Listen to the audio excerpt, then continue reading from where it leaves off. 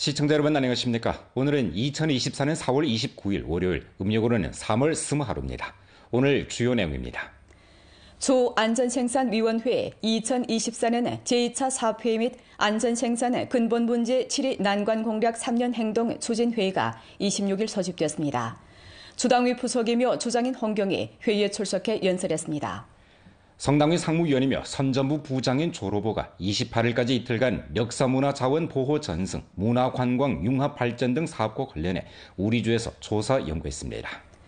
제18회 연변 독서절 및 저작권 선전 주간 가동식이 26일 연길에서 펼쳐졌습니다. 월절 기간 우리주 날씨가 좋아 출행에 유리할 것으로 보입니다. 아래 상세한 소식 전해드리겠습니다. 주 안전생산위원회 2024년 제2차 사업회의 및 안전생산 근본 문제 7위 난관 공략 3년 행동 추진 회의가 26일 소집됐습니다. 주당위 부석이며 주장의 홍경이 회의에 출석해 연설했습니다. 홍경은 안전 생산과 재해 방지 감소, 재구조에 관한 습근평 총석의 중요 지시 정신을 깊이 관철하고 당중앙, 국무원과 성당위, 성정부의 포치를 실행하며 주당위의 사업 요구에 따라 고품질 발전과 높은 수준의 안전을 통괄해 인민 대중의 생명재산 안전과 사회 대국의 안정을 확보해야 한다고 강조했습니다. 홍경은 다음과 같이 지적했습니다. 2, 4분기는 춘경 생산으로 바쁜 시기, 대상 건설이 시작되는 시기, 조업 및 생산을 다그치는 시기, 관광 성수기, 봄철 방화 관건 시기만큼 각 현시 여러 부문에서는 마비 사상과 요행 심리를 극복하고 깊은 중시를 돌리고 경각심을 높여야 합니다. 최근에 발생한 중대 안전사고 교훈을 깊이 섭취해 안전생산 책임을 1층 다지고 사업 수행을 단단히 들어주어 각종 안전사고 발생을 견결히 방지해야 합니다. 홍경은 다음과 같이 강조했습니다. 도로 교통, 삼림 방화, 건축 시공, 위험 화학품 등 중점 업종 분야에 대한 특별 정돈을 잘 들어주고 중대 안전 생산 사고가 발생하지 않도록 하는 최저선을 견결히 지켜내야 합니다. 대형 수송 차량과 배달 차량에 대한 관리 통제 강도를 높여야 합니다. 경험 교훈을 총무하고 교통사고 배후의 원인을 찾아내며 감시 카메라, 경고판 설치 등 방식으로 사고 발생 위험을 줄여야 합니다. 도시가스 안전에 대한 정돈을 강화해야 합니다. 가스 분야 안전 5대 행동을 다그쳐 추진하고 상가, 특히 주택 1층에 위치한 경영 장소에 대한 감독 관리를 중점적으로 들어주어 가스 폭발 사고가 발생하지 않도록 엄밀히 방지해야 합니다. 삼림방화 안전을 잘 틀어줘야 합니다. 각급 방화 책임을 확실히 하고 기술 방화 수준을 향상시키는 데 주력하며 24시간 전면 피복 관리 통제를 실시해야 합니다. 각종 자연재해에 대비한 응급 훈련을 깊이 있게 펼치고 각급 지도 일꾼들이 각종 자연재해 대응 조치를 상시하게 료해하도록 독촉하며 책임 분공을 분명히 하고 대응 준비를 잘해야 합니다. 홍경은 다음과 같이 지적했습니다. 5일절 기간 주 안전생산위원회 판공실에서는 매일 현시와 부문의 안전생산사업 감독 지도, 검사 정황을 관리 배치해 책임을 이행하지 않고 휴일이 되자마자 일터를 비우는 정황이 있으면 통보해야 합니다. 당직 제도를 엄격히 실행하고 정보 보고를 엄격히 하며 일단 위험 상황이 발생하면 제때 효과적으로 처리할 수 있게 해야 합니다. 회의에서는 1, 4분기 전주 안전생산 사업 정황 및 다음 단계 사업 건의를 통보했습니다. 주 교통운수구, 주 주택 및 도시농촌 건설구, 주 문화라디오 텔레비전 방송 및 관광구, 주 소방구조 지대에서 근본 문제 7위 난관 공략 3년 행동과 결부해 해당 업종 분야의 2, 4분기 5일절 기간 안전 경계 사업을 배치했습니다. 부주장 단우건이 회의를 사회했습니다. 주당의 상무위원이며 부주장인 리건군, 부주장 윤조휘, 소경량, 문금철, 정권, 박군봉, 주정부 관련 부비서장, 주 안전생산위원회 성원 단위 책임자들이 회의에 참가했습니다. 성당위 상무위원이며 선전부 부장인 조로보가 28일까지 이틀간 역사 문화사원 보호 전성, 문화관광 융합 발전 등 사업과 관련해 우리 주에서 조사 연구했습니다. 조로보는 습근평 문화 사상을 깊이 학습 관찰하면서 문화자원 우시를 고품질 발전 우시로 전환시키고 경제발전 새 엔진을 구축해야 한다고 강조했습니다. 졸업원은 선화요 연길시, 용정시, 도문시 및 G331 국도 용정 도문 구간에서 당제 역사문화자원 보호 전성사업과 중점 문화관광 대상 실시 정황을 조사 연구하면서 연변이 문화사업 발전에서 이룩한 성과를 충분히 긍정하고 나서 다음과 같이 지적했습니다. 연변은 문화기관이 두텁고 관광 자원이 풍부합니다. 단열 내 연변에서는 자원 천품에 입각해 역사 문화 자원을 깊이 발굴하고 문화 관광 산업의 심층 융합 발전을 적극 주동해 문화 관광 산업이 부단히 새로운 발전을 가져왔습니다. 졸업원은 다음과 같이 강조했습니다. 역사 문화 유산에 대한 활용을 강화해야 합니다. 역사 문화 자원을 발굴, 정리, 보호하는 토대에서 무형 문화재 보호 전성을 강화하고 문화 인재 양성 기제를 최적화하며 문화 산업 쾌속 발전을 지지해야 합니다. 홍색 문화 관광을 대대적으로 발전시켜야 합니다. 홍색 문화 사료를 광범위하게 수집하고 사료에 내포된 애국주의 정신을 깊이 발굴하며 역사 사건을 정확하게 해석하고 전시 형식을 풍부히 해 홍색 문화 관광 자원이 사회 대중 특히 청소년 애국주의 교양의 중요한 담취로 되게 해야 합니다. 문화와 자연 자원 우시를 충분히 발휘시켜야 합니다.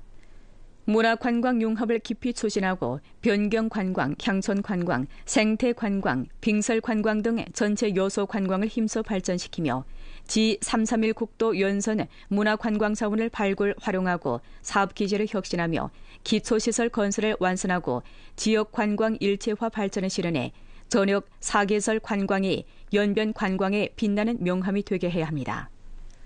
주당위 상무위원이며 선전 부 부장인 김기덕, 부주장이며 영정시 당위석인 박군봉, 조정교 부주석이며 도문시 당위석인 권대글이 각기 관련 조사 연구 활동에 참가했습니다. 주당위 통정부에서는 26일 전체 기관 간부 및 우리주 무당파 인사와 당회 지식인 새로운 사회계층 인사 대표들을 조직해 연글시 중화민족 공동체의식 확고 수립 주제 공원을 찾아 연글 록화미와 한마음으로 록색식물 보호 식수조림 주제 활동을 펼쳤습니다. 주당위 상무위원이며 통전부 부장인 석기화가 식수조림 활동에 참가했습니다. 주당위 통전부 기관 간부들과 통일전선 성원 대표들은 식수조림 장소에 도착하자마자 삽, 물통 등 도구를 들고 식수조림 활동에 돌입했습니다. 모두들 3355 조를 나누어 식수에 집중하면서 이 땅에 록색을 더해줬습니다. 모두의 신근한 노동을 거쳐 묘목들이 봄바람 속에서 자리를 잡아 봄날의 연길에 생기를 더해줬습니다. 그들은 식수조림이 우리 모두의 책임이라면서 향후 연길 록화 미화의 실천자와 전파자가 되어 식수조림 활동에 적극 참여하고 사람마다 녹색 사자가 되고 생태 선봉이 되려는 짙은 분위기를 힘써 조성할 것이라고 했습니다. 연변 군본구 주퇴역군인 사무국에서는 26일 주 민병 훈련 기지에서 연결 녹화미화 제2고향 건설 부대 및 지방 간부 식소 활동을 펼쳤습니다. 주당위 상무위원회는 연변 군본구의 마림화, 연변 군본구 부분적 장병과 조퇴역 군인 사무국 간부 종업원, 전족학 향진, 가도, 전임 인민 무장 간부들이 활동에 참가했습니다. 식소 현장에서 모두는 힘든 일을 마다하지 않는 훌륭한 작품을 발휘했습니다. 이들은 구덩이를 파고 묘목을 심고 땅을 다지는 등 일사불란하게 나무를 심었습니다. 반나절의 노동을 통해 가지런히 줄지어 늘어선 나무들은 생기발랄한 풍경을 이루었습니다. 활동에 참가한 부대 장병들은 직소를 통해 녹색 식물을 사랑하고 애호하는 의식을 강화했을 뿐만 아니라 주둔지를 고향으로 간주하는 책임감과 자부심도 일층 향상됐다며 향후 사업에서 인민군대 취지를 충실히 실행하고 군인의 사명을 이행하는 능력을 부단히 증강하며 당과 인민이 부여한 제반 임무를 견결히 완수해 연변의 경제사회 발전에 새로운 기여를 할 것이라고 각오를 다졌습니다. 이날 식소 활동에서 백양나무 도합 96그루를 심었습니다. 연변 군분구와 주 퇴역군인 사무국에서는 묘목 후속 관리 작업을 강화해 묘목의 활착률을 높이게 됩니다. 제18회 연변 독사절 및 저작권 선전 주간 가동식 26일 연결해서 펼쳐졌습니다. 가동식에서 우수열독 추천인 22명과 우수열독 보급사항 12개가 표창을 받았습니다. 주 독서협회에서는 현장에서 무형 문화재, 문화 창의와 저작권 작품 전시 체험 활동을 펼치고 작품 저작권 등록에 관한 대중의 자문을 접수했으며 주민들이 저작권을 엄격하게 보호하고 합리하게 운영하도록 인도했습니다. 또 새싹 보호 2024년 녹색 책갈피 행동을 통해 미성년들이 불법 유해 출판물과 정보를 멀리하도록 교양 인도해 청소년들의 건강한 성장에 량호한 사회 문화 환경을 마련했습니다. 这是一个啊全民阅读的时代，这是一个亲近民生的话题，所以呢，我们把这么隆重的仪式举办在了啊广场上。此次活动呢，一共大概三天的时间。 지난해 이래 우리 주에서는 중화민족 공동체의식 확고 수립을 주선으로 열독 장기 효과 기재 건설, 전민 열독 브랜드 건설, 량질 열독 내용 보급, 손해나동 열독 촉진 등 행동을 둘러싸고 형식이 다양하고 내용이 풍부한 온 오프라인 전민 열독 활동을 적극 조직해 전 사회에서 량호한 열독 기풍을 형성하고 뚜렷한 성과를 거뒀습니다. 주정부에서 조치하고 주문화라디오 텔레비전 방청 및 관광국 연길 참모달에서 주관하는 카츄샤 활라코 중로 풍정 여행 Y551편 관광 특별 열차 환송식이 27일 연길역에서 있었습니다. 전국 각지 관광객 270명은 아름다운 가무 공연, 열정스럽고 손님을 반기는 연면의 뜨거운 분위기를 깊이 느낄 수 있었습니다. 카티오샤 활라코 중로 풍정여행 Y551편 관광특별 열차는 산해관역에서 떠나 연길역에 도착합니다. 연길에 도착한 후 여객들은 국제버스를 타고 훈춘 동상구에서 출경해 러시아 울라지포스토크로 갔다가 연길로 돌아와 연길 인터넷 인기비업, 중국 조선족 민속원, 서시장 등을 방문해 여러 가지 조선족 특색 미식을 맛보게 됩니다. 5일절을 앞두고 연길시 시장감독관리국에서는 관광시장 가격 감독 검사를 펼쳐 양환 문화관광 소비 환경을 조성하고 소비자들의 합법적 권익을 수호했습니다. 연길시 소방구조 대대에서는 인원 밀집 장소에 대해 명절 전 소방 안전 검사를 펼쳐 연길시 전체 화재 형시 안정을 확보하고 각종 화재 사고 발생을 막기 힘썼습니다. 연길시 시장감독관리국 집법 일꾼들은 일전 호텔, 숙박업소, 음식점, 복장 촬영, 관광 풍경구, 인터넷 인기 시장 등 경영 장소에 대해 집법 검사를 진행했습니다.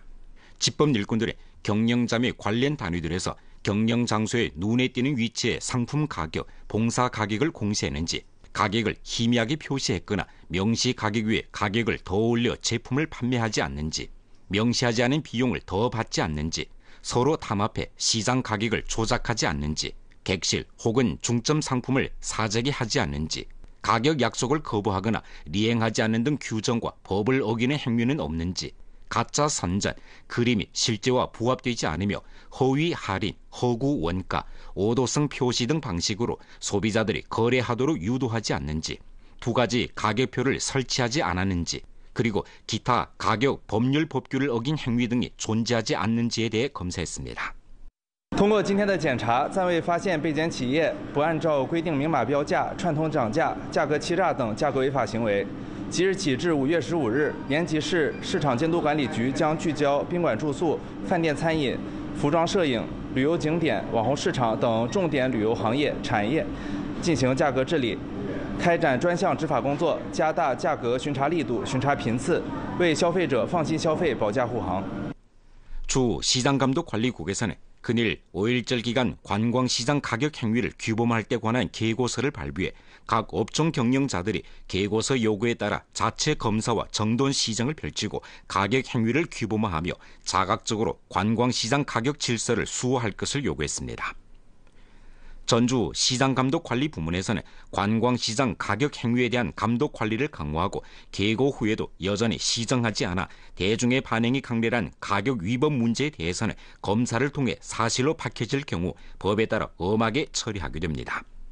5일절이 가까워지면서 관광 풍경구, 숙박업소, 음식업체 등 장소에 인원들이 밀집되면서 화재 유발 요소가 많아져 화재 사고가 일어나기 쉽습니다. 일전 연글시 소방구조 대대에서는 서시장, 호텔 등 인원 밀집 장소에 대해 소방 안전 검사를 펼쳤습니다.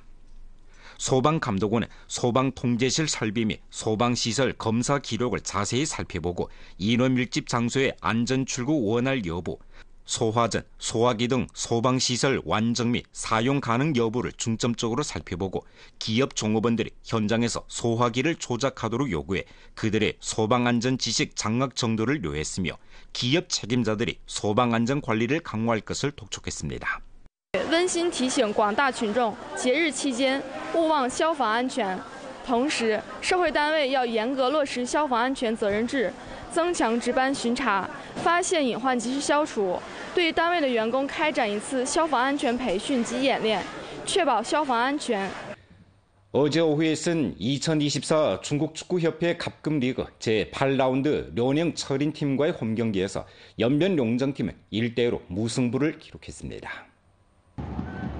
경기 초반부터 연변팀은 중원에서 차근차근 공을 통제하며 기회를 엿보았습니다.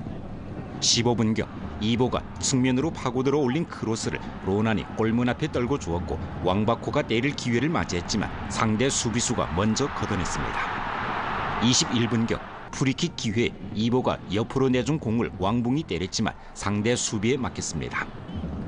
꾸준히 몰아세우던 연변팀이 24분경 선제골을 뽑아냈습니다. 코너킥 기회에 한광휘가 문전에 올린 공을 서계조가 헤딩으로 깔끔하게 박아 넣었습니다. 중앙 수비수 서계조의 첫 골이었습니다. 후반전 들어 58분경 김태현이 드디어 출전했습니다. 6경기 만에 복귀한 김태현은 수비형 미드필더로 나섰습니다. 동시에 14번 리룡도 17번 리세빈을 대신해 투입됐습니다. 83분경 런닝팀이 코너킥 기회에 문전에 올린 공을 동가림이 출격했지만 채내지 못했고 공은 상대 외적 선수의 몸에 맞아 골문으로 들어갔습니다. 그 뒤 연변팀은 공격에 고삐를 조였지만 결국 더 이상의 득점은 하지 못하고 무승부를 받아 안아야 했습니다. 오는 5월 4일 연변팀은 홈에서 흥룡강 빙성팀과 제9라운드 대결을 펼치게 됩니다. 우리가 그 많은 찬스에서 좀 득점을 해서 2대 0을 빨리 달아났어야 되는데 그게 좀 많이 아쉽고요. 하여튼 뭐 또 잘 추스려서 다음 경기 또 잘 준비하겠습니다.